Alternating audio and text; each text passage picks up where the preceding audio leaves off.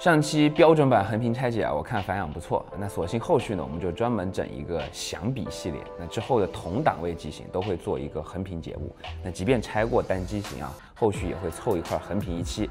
那这期节目呢，我们就来看看子品牌的次旗舰对决，那分别是。Redmi K90、iQOO Neo 十一、真我 GT 八和一加 Ace 六啊。第一步，关机后取出所有卡托。那四款卡托均为双卡背靠背设计，材质呢都是金属加塑料，内侧全部配备防尘防水的胶圈。第二步，拆卸后盖，加热后酒精配合拆卸片划开粘胶，分离后盖。那我手上这四款配色的后盖材质，除真我采用了类纸再生皮革外，其余三款都是玻璃材质啊。待口区域都是玻璃镜片拼接金属装饰圈方案。那特别要说明的是，Redmi 的 Deco 采用类似 iPhone 的一体冷雕玻璃工艺，它是通过一整块相对较厚的玻璃雕刻而成的，整体看上去高级感要更强一些。后盖内侧除 Redmi 外，其余三款在电池的对应位置呢都有添加泡棉填充机内间隙。Redmi 也不是没有泡棉，只是泡棉放置在了电池和副板的连接处，面积相比另外三款呢也小了非常多啊。那其中 iQOO 和真我还在后摄模组左侧以及副板位置额外添加了泡棉，提供缓冲保护。四款中只有真我的底部燃气散热膜贴在后盖上，一加呢则是给后盖上贴了一大一小两片散热膜，完全覆盖了主板的核心发热区域以及电池位置。这两片散热膜的面积加起来呢有七千七百平方毫米之多，相当程度上加强了整机的均热能力。Deco 内侧四款全部添加了黑色塑料内衬保护，所有镜头四周呢都有配备防尘密闭泡棉，防止灰尘进入。来到主体部分，NFC 线圈都设计在后摄模组附近，位置合理，方便使用。四者均没有配备无线充电线圈，电池位置的散热膜也都没有完全覆盖电池。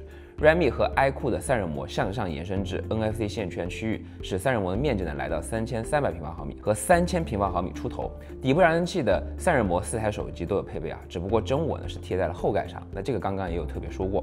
影像的外围配置上，四款均没有搭载激光对焦传感器，但在环境光传感器方面啊，都配备了前后双光感。但只有 Redmi 配备了上下后三颗麦克风，其余三款呢都为上下双麦克风。闪光灯数量上，全部只配备一颗灯。用于万能遥控的红外发射器也都有搭载，不过安排的位置有所不同。Redmi、iQOO 以及一加都选择放在机身背面后摄模组附近，真我呢则还是比较传统的安排在机身顶部。四者的主板盖板材质呢都是金属加塑料，盖板内侧起压紧填充作用的泡棉分布在四者接口、前摄以及顶部燃气位置。真我和一加电池位置的散热膜向上延伸至主板核心发热区域，使这两片散热膜的面积一个来到三千三百多平方毫米，一个呢突破四千一百平方毫米。而 iQOO 这边则又在主板核心发热区域呢额外贴了一块面积在六百多平方毫米的散热膜，使 iQOO 成为四台手机中唯一一个在主板盖板正反两面都有覆盖散热膜的机型。这两片散热膜加起来呢有三千六百多平方毫米。此时来看电池在机身中的占比情况，iQOO 和一加会相对大一些，Redmi 和真我呢略小一点啊。取出所有摄像头，详细参数大家看图。四台手机中只有 Redmi 和真我配备了长焦镜头，那其中 Redmi 的是直立长焦，真我呢采用的是三次反射方案的潜望长焦，也是四台手机中唯一一个除主摄外还有其他镜头具备这个 OS 光学防抖的。剩余的部分呢差异其实并不算太大啊。那来到主板部分，四块主板均采用利好散热的单层设计，PCB 板材厚度呢都在零点六毫米上下。四者的主摄全部采用破板下沉设计，直出中框。有长焦的机型也给了长焦相同的待遇，但超广角则都选择架在主板上。所有镜头和核心三大件的相对位置，大家直接看图啊。防护措施上，iQOO 和真我都是在部分接口有胶圈或者泡棉圈的保护。小元件的封胶处理上，Redmi 相对少一些，iQOO 和真我多了一点啊。一加呢，则是所有小元件都进行了封胶。主板正面的屏蔽罩上，iQOO 贴有一小片铜箔，真我和一加则是配备了散热膜。主板背面的屏蔽罩上全部都有散热膜或者铜箔的覆盖。主要发热芯片位置呢都有导热材料，去掉屏蔽罩，清掉材料后看到核心三大件。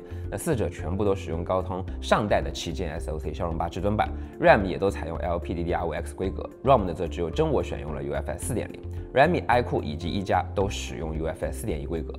游戏方面，王者和吃鸡两款游戏基本都是拉不开差距的啊，都能轻松跑满。主要的区别在于原生的高刷适配上，一加呢针对各类枪战游戏的幺六五赫兹超高刷适配。那到了原神新铁跑图以及新铁重载的虚构叙事副本，iQOO 和一加表现都比较稳。那综合来看，论游戏体验，iQOO 和一加显然更到位啊。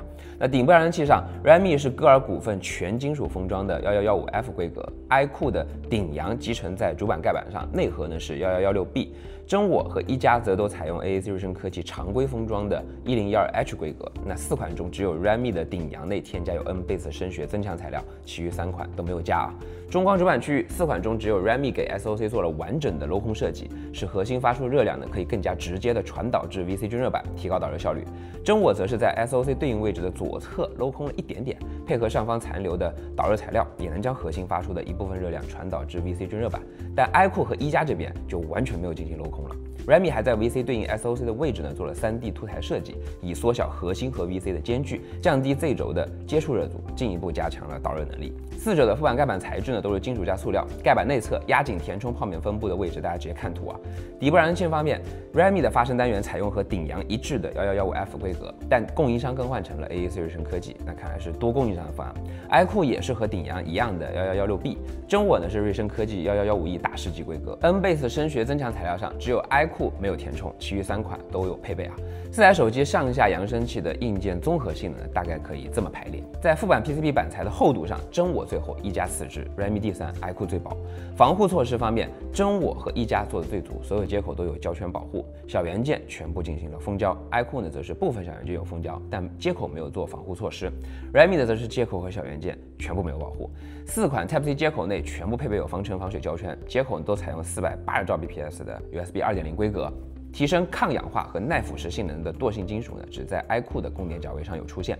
四者的马达尺寸完全一致，那都是八乘九乘三点五毫米。虽然尺寸一致，但实际硬件性能还是有那么一丢丢差异的。大概呢可以这么个排列。中框副板区域啊，四款的底部麦克风收声孔均配备有防漏音泡棉加白色防水透气膜，全部采用 L 型防呆设计啊，误插后不用担心防护结构损坏。底部燃气出声口呢，使用红色胶圈加细密防尘网保护。那实际防尘防水的能力啊，目前基础的 IP68 加 IP69 都是有的，但真我和一加还额外做了 IP66 的高压水柱测试，一加甚至连 IP69K 高温高压水流冲刷测试也安排了，那属于防护大满贯了。电池方面，四者均有快拆设计，一加电池呢采用双电芯单接口方案，另外三者都是单电芯双接口设计。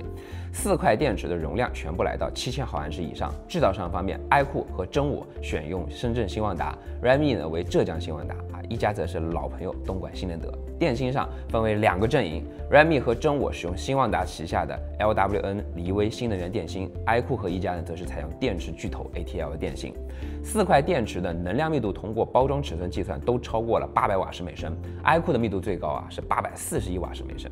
四块电池除了一加之外呢，全部采用了 C-Pack 工艺，将保护板的堆叠方式从 Y 轴改为 Z 轴，腾出空间给到电芯加大容量。Redmi 的保护板呢是 SIP 系统级封装，iQOO 和真我呢有热熔胶封装。来增强此区域的防护性能。那一加电池保护板呢，则还是传统的封装方式啊。包装内附带的充电器，除了一加的一百二十瓦外，其余三台都是一百瓦。那实测峰值充电功率，毫无疑问一加最大，来到九十七点一瓦，其余各家呢都在八十瓦左右。最低的真我呢也有七十七点四瓦。一到一百充电用时上，电池最小的真我和电池最大的一加用时最短，四十七分钟。剩下两台呢，五十分钟前台都能充满。最后一步拆屏幕，加热后酒精配合拆片滑盖粘胶分离屏幕。那首先来看尺寸，Redmi 最小还不到六点六英寸，其余三款呢都在六点八英寸上下。屏幕供应商方面，iQOO 和真我都来自京东方，Redmi 呢则是华星光电，一加呢是天马微电子。除 iQOO 使用 LTPO 外，其余三款都是 LTPS。分辨率上，iQOO 和真我都是 2K 分辨率，PPI 呢在五百一左右，一加呢则是 1.5K。PPI 四百五，Redmi 因为采用的是小米旗舰同款的超级像素排列，分辨率和 PPI 从数字上看啊是四款中最低的，但在实际使用中，这个清晰度是没有问题的。调光方面，Redmi 和真我采用全亮度类 DC 调光，iQOO 和一加呢则是类 DC 和高频 PWM 相互配合。那除了一加还是线偏正光外，其余三款都有圆偏正光的加持。亮度上，Redmi 的保守也是师承小米。手动产品下，Redmi 和真我都只有五百多尼特啊，但好在两者都有这个高亮模式。开启后呢，Redmi 来到七百七十五，真我更是突破了九百。那两者都要比 iQOO 的七百一和一加的七百三十六要高。强光激发时呢，Redmi 来到了一千尼特出头，iQOO 一千六，一加呢更高一点，一千七百四十三。真我呢最高有一千九百零七尼特。百分之十窗口下，iQOO 亮度基本没有变化，还在一千六百多尼特，其余三款都来到三千加。最低亮度上只有 Redmi 降到了一尼特以内啊。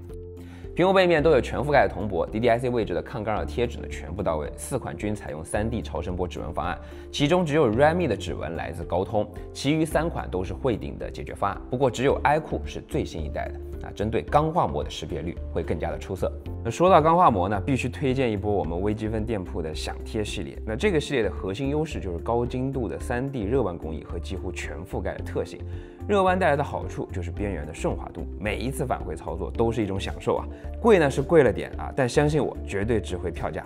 并且为了让大家更轻松精准的贴膜呢，我们的贴膜神器也特意用真机注塑成型，精度相比常规的要高，放进去你就能感受到它的劲。那不用担心划伤手机啊，跟着教程走，你就是贴膜大神。有需求的直接去淘宝搜索微积分店铺即可。触控 IC 方面，真我和一加使用新思的 S 三九幺零 V，iQOO 则是新思的 S 三九幺零，Redmi 采用汇顶的 GT 九九幺六 K，四者的中框上都覆盖有大面积的散热膜，iQOO 的尺寸最大超过了八千二，其次呢是一加接近七千五，Redmi 和真我呢则在六千平方毫米上下。CR 散热膜就能看到四块不锈钢材质的 VC 均热板了。均热板的颜色差异是因为供应商的表面钝化工艺不同导致的。那主要材质都是不锈钢。VC 面积上，iQOO 的最大接近八千平方毫米，真我次之，逼近七千平方毫米。随后是一加的五千六百多，以及 Redmi 的五千三。那其中 Redmi 的 VC 的核心位置有做下凹设计。那除之前提到的缩小间隙、降低热阻外呢，也为了让热源远离屏幕，避免 SOC 发出的热量形成局部高温。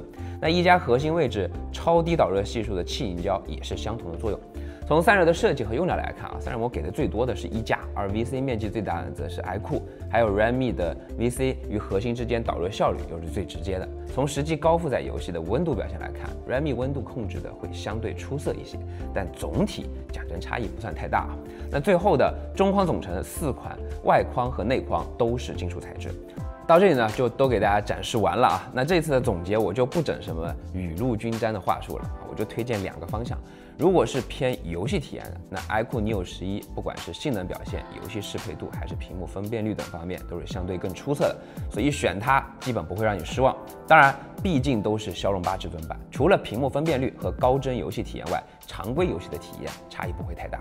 所以，如果在这个基础上，你还希望有不错的影像体验，那可以考虑一下真我 GT 八。好了，以上就是本期视频的全部内容。我是罗宾，下期想比大家想看哪几台机子的对比呢？那必须是同档位的啊！欢迎弹幕或者评论区留言。